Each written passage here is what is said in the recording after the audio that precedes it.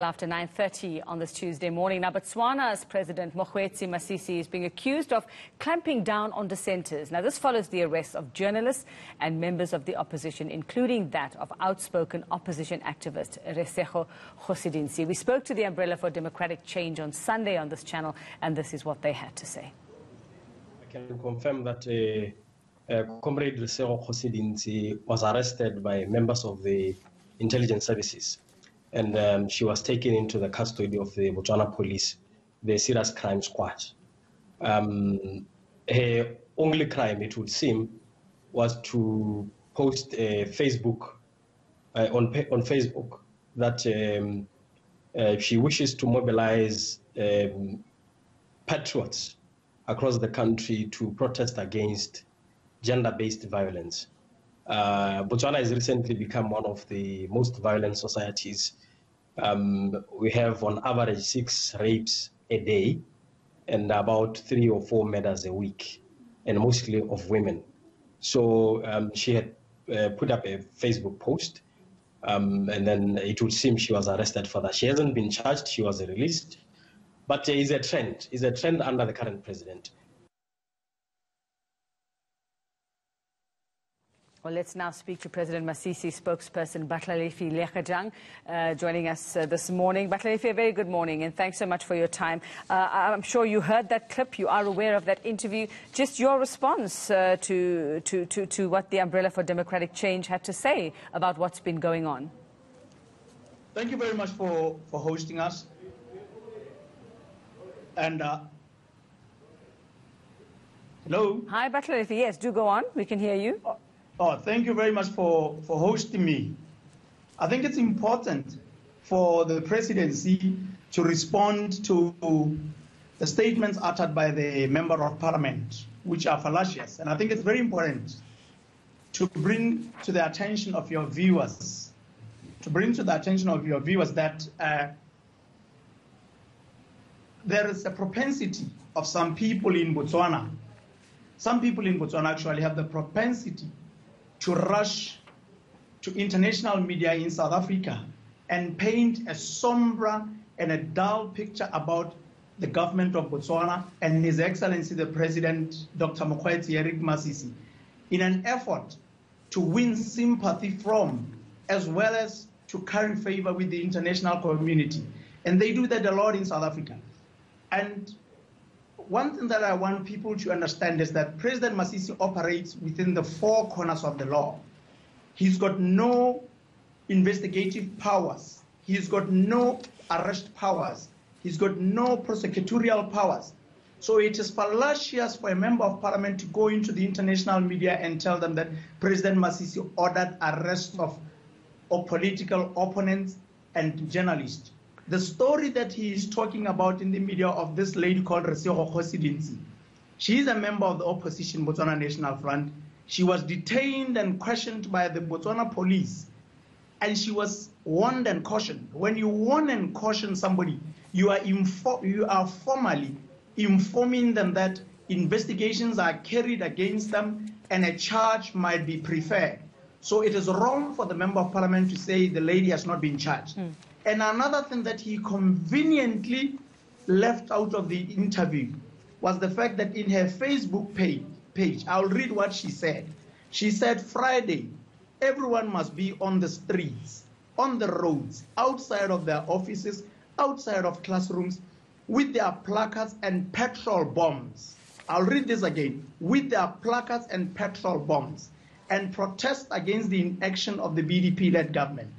Buildings will burn, Cars will not move. Our lives at risk 24 7. No one must sleep. President Masisi must sleep. Buildings will burn. Do you want to tell me that when somebody is protesting against gender based violence, they'll go and burn buildings? Mm. That, is, that is not mm. protest against gender based violence. And that is a very critical factor that the honorable member deliberately ignored or left out of the interview. Uh, the second one about another political activist, uh, Justice Motlhabane of the Botswana Patriotic Front.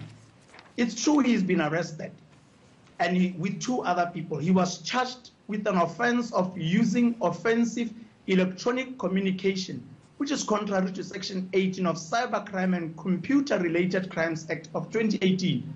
This law came in before President Masisi became a member of, became the president.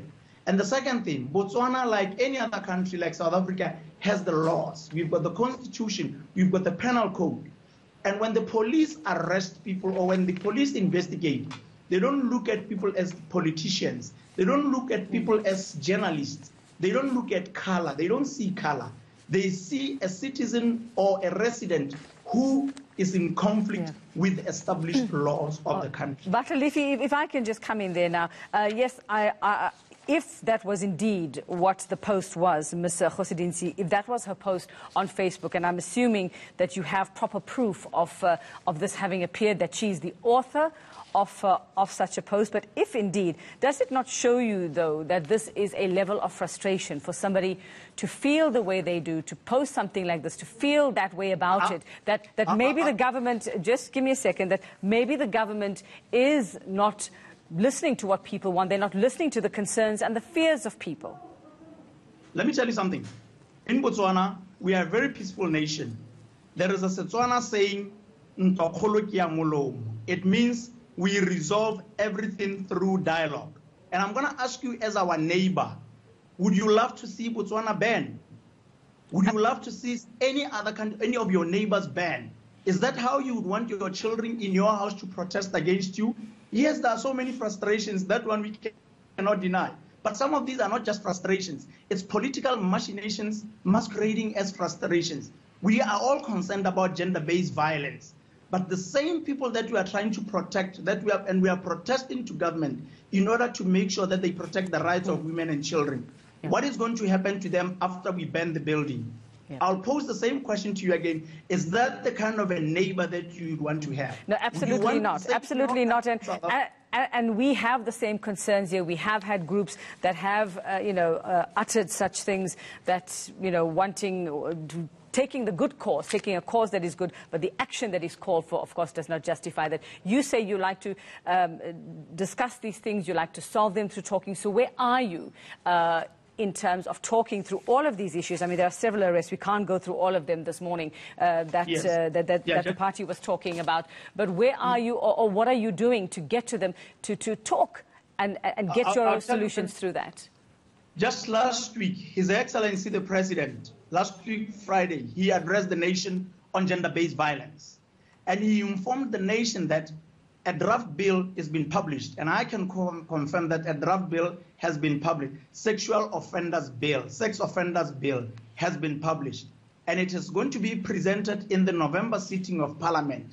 And in that bill, I'll just mention two things. It proposes stiffer penalties for sexual offenders. The second thing, it, there's going to be a sexual offenders register so there is an effort that government is doing. Things are coming up, and people need to be patient and see what the bail is going to be bringing about.